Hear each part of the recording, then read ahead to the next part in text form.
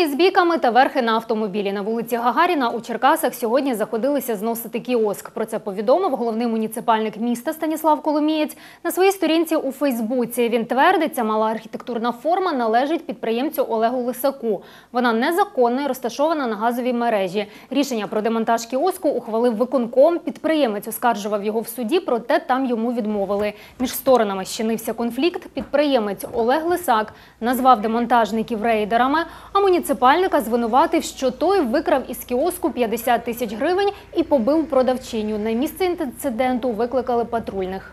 Вчора ми попередили, що будемо демонтовувати його самостійно. От, е, коли приїхала техніка, почала працювати, приїхав лисак, здійснив на мене наїзд своїм автомобілем на ногу, взяв каміння, потрощив нам техніку, побив нам е, евакуатор, скло розбите. То якщо поліція наша не вмішається, не наведет порядок, то у мене є зареєстроване оружие, вот, і я готовий применить, пустить в ход.